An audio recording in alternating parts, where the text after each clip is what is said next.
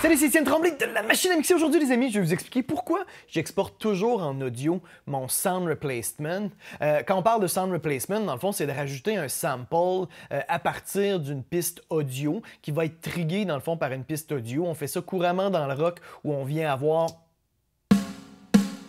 un sample de snare qui, dans le fond, est synchronisé avec le snare euh, d'origine.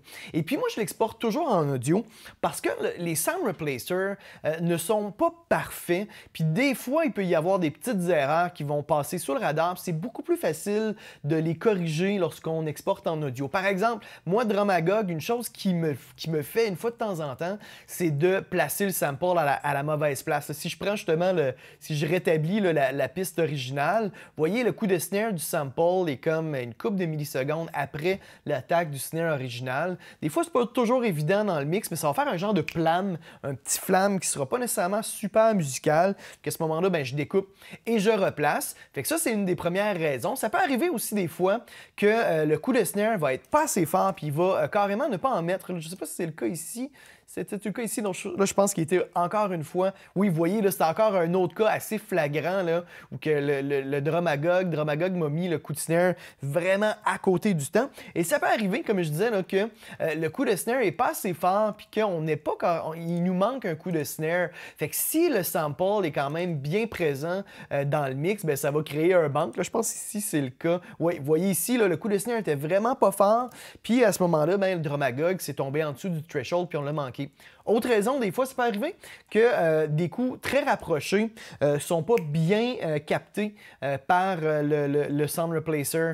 Comme quand on a des flammes, là, je dois en avoir un à quelque part ici, ou que j'ai deux coups très très rapprochés. Ben là, ici, j'ai un roulement de snare ou, qui, ou que j'avais un coup de snare qui me manquait. Fait que ça nous permet rapidement de voir s'il nous en manque ou si on en a aussi en trop. Là, ça peut arriver que si on a beaucoup de leaks, de kicks, qu'on a un coup de snare à une place qu'on n'est pas supposé de n'avoir. Fait qu'à ce moment-là, quand on a les deux en audio, ben on peut se faire une écoute soit en les mettant en solo, puis moi, moi ce que je fais, c'est que des fois, je vais mettre tout simplement le scroll, puis à ce moment-là, ben, je fais jouer la piste, puis à ce moment-là, ça défile, ça permet d'avoir des repères visuels et auditifs en même temps. Ça fait qu'on peut faire un petit scan rapide, et puis ça nous permet justement de, corriger ces petites erreurs-là qui peuvent être un petit peu tannantes euh, de, se rendre compte. Ça peut être un peu tannant de se rendre compte de ces erreurs-là une fois que l'album est terminé, puis que vous avez commencé à en vendre, puis là que vous entendez un coup de snare qui, n'était pas là à l'origine.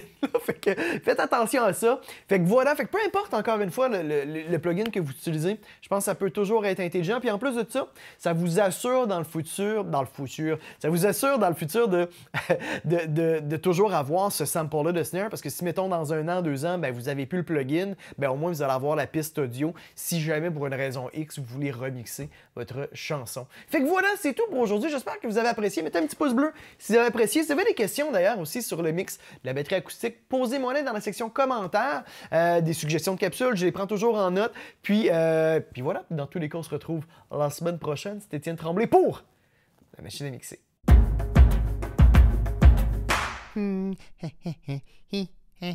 Abonne-toi. N'aie pas peur. Allez, clique.